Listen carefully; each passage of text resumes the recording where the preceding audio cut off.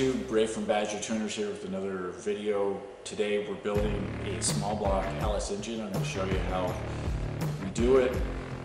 What I'm not going to do is talk about nothing throughout the whole video. I'm actually going to show you step by step what I do, how I do it. CompCam seems to believe that with the cam we're using and this combination that I put together, around 700 horsepower. I think conservatively we'll be more like five to 600 horsepower range. I will share those numbers with you in later videos. Uh, however, for this video, we're just going to go through the nuts and bolts of putting this thing together. If you are genuinely interested in building your own LS engine or interested in having me build an engine for you, this in, this video will be interesting to you. If you're interested in listening to people drone on about nothing, then this video is probably isn't for you. There's plenty of those videos out. Uh, so stay tuned. All right, so we got the block back from the machine shop. It's been bored, honed, decked, and a line honed. And so what they do in the uh, line hone process is they cut the caps here and then they run a bar and resize the, the hole so hopefully you can see the uh, machine marks that are in there from the line hone going back and forth. All right, so the first step that we have to do is we have to go over here and clean out the cutting fluid and bores. Then the next step we'll do is we'll set up our micrometer and dial bore gauge. The dial bore gauge is what we will actually use to check our measurements. All right, so I've got our micrometer set to two inches, 559 thousandths. All right, so I'm gonna put it here in our fixture.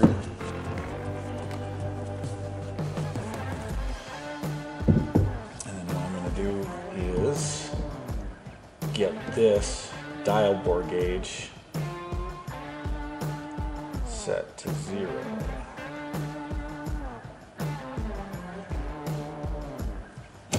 All right, so now, now I'm ready to check all my main bores, at least my dial bore gauge is set. So the next step is I'm gonna torque everything down. Gonna get these main caps cleaned off and torque down ready to go.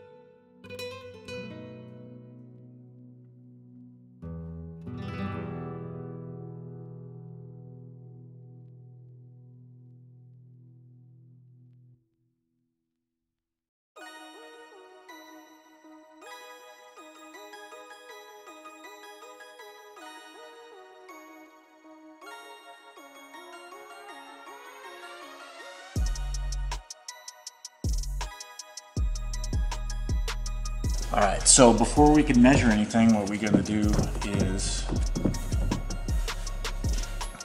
use our Starrett micrometer. This is a two inch micrometer, it goes two to three inches. All right, put it in my fixture here. And then I'll set up my dial bore caliper here and hoping you can see this here. Move it over here so you can see it so I can zero it out. You can see that it's pretty much there. All right, so what I did was I set it to two inches, 751 thousandths, which is the outside specification, uh, OEM specification for bearing bores of an LS.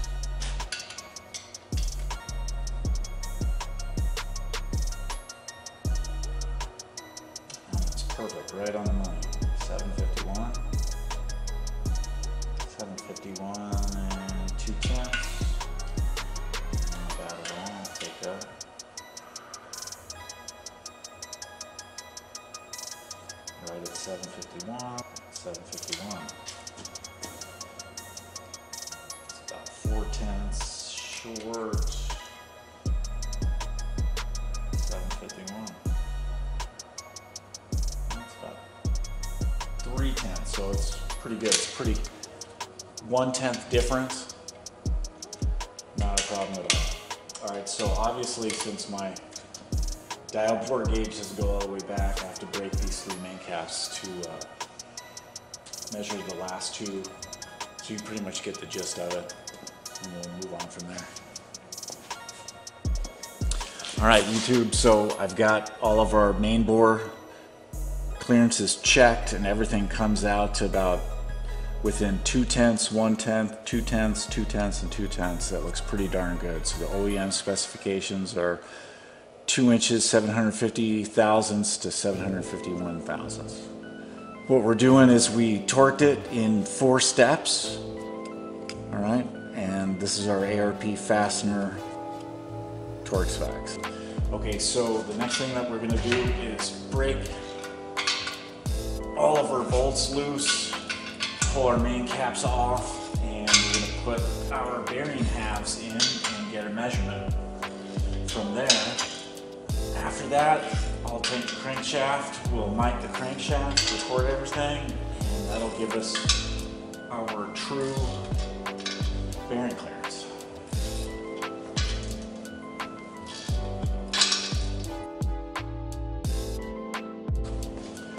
Now all the bolts have been removed. They're on our surface. Something that's really important that I'd like to do is uh, tighten down all of our main studs. The reason why I'm going back and doing this now is when you take them off, they like to loosen up, like some of these here. And so before I forget, I re-tighten all these down.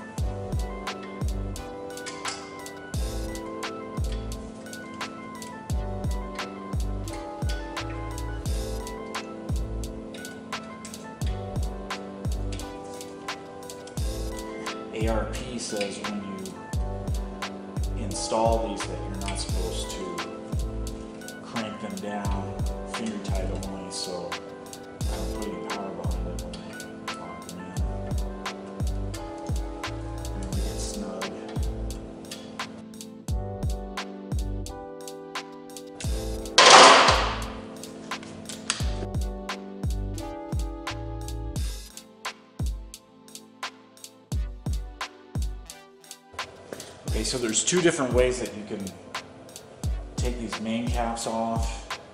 One, you can hold it like this without hitting your thumb.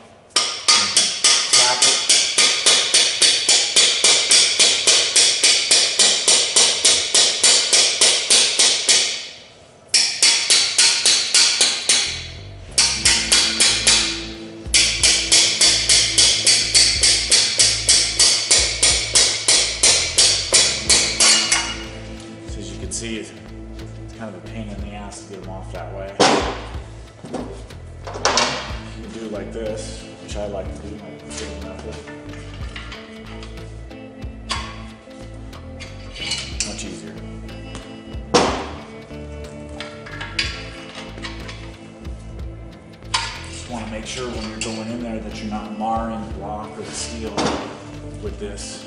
I'm only using this little edge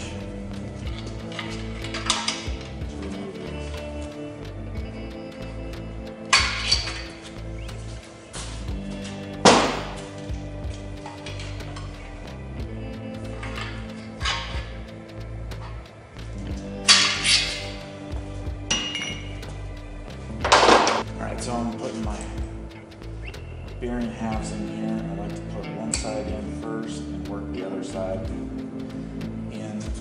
So that way, when I put them in, if I feel any kind of dirt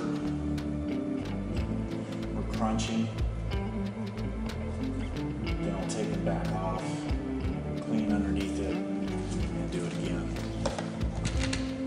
You always want to make sure that the groove side of the bearings go on the block side. Where you see this groove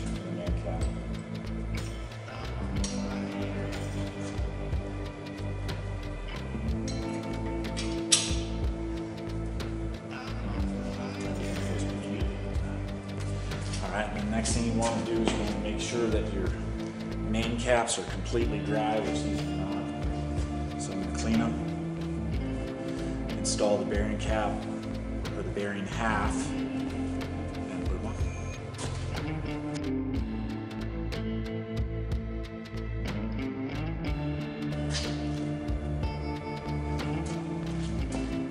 All right, so for the next step,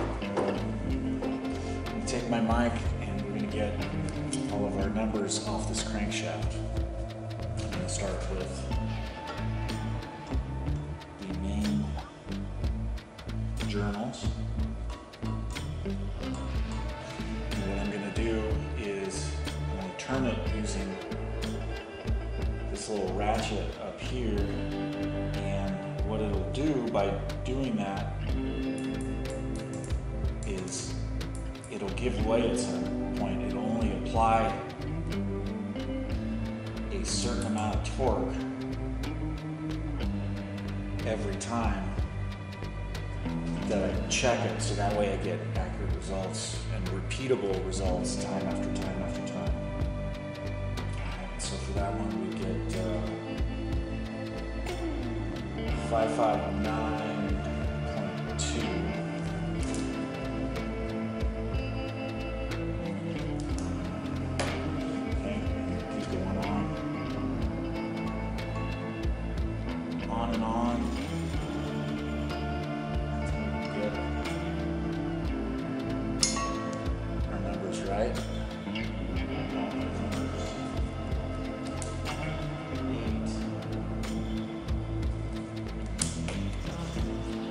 since we're here, I'll go through and I'll do all the rod journals the same.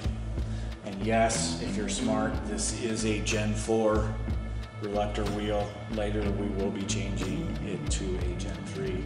The reason why I have this with a Gen 4 reluctor wheel is that almost all the crankshafts today are Chinese billet uh, blanks and they're machined USA by uh, all your top name crankshafts. The only way that you're going to get a true 100% made in the USA steel forged crankshaft is if you buy a billet crankshaft and those start around three grand. So if you're like me, you don't have a wallet full of money,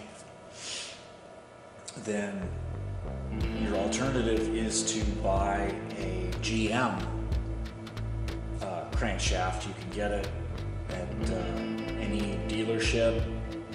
They sell them um, in Gen 4s currently. They don't sell them with the Gen 3 reluctor wheel, but that's not a problem. You can pull this off and put it on and uh, save yourself a lot of money. Okay, so we've got all of our main bearing journals recorded, all the sizes. They all look really good. as well as all of our rod bearing journal from our crankshaft sizes. They all look really well. All right, so for the next step, what we're gonna do is I've got everything torqued down and I'm gonna take the numbers that we've got here for our crankshaft journal uh, outer diameter and I'm gonna do the same thing that I did last time is I'm gonna use my mic, I'm gonna set my dial caliper or my dial bore gauge to every exact size that I recorded with my mic for every journal. So I'll use that number as a zero. So we're gonna start off with two inches, 559 thousandths even.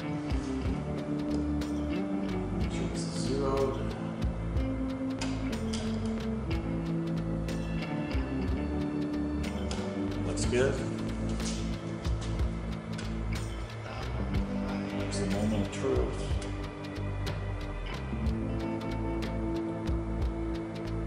And I've got right on 2000s.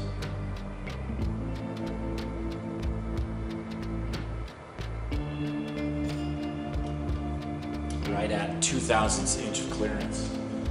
That might be a little on the tight side generally. Uh, the rule of thumb is one thousandths per inch of journal diameter, which would give us a bearing clearance of two and a half thousandths. So the next thing we're gonna have to do is find another set of bearings. We could either go half size. Another option would be to sand off some of the journal material, which is really kind of the last resort. I really don't like doing that. So what I'd much rather do is mix and match a set of bearings. And what we could do is get a set of bearings that are set for uh, one thousandths extra clearance, and we can take the lower bearing halves or the thicker of the two and them in here. So that's probably what we're gonna have to do. At least for that one. So I'm gonna reset my next one to two five five eight eight. Before I do that, so- All right, we've got it. We'll Move on to the next one.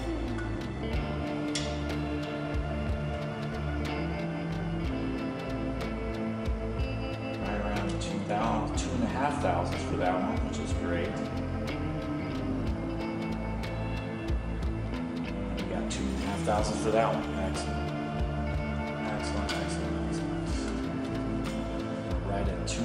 thousandths. Perfect.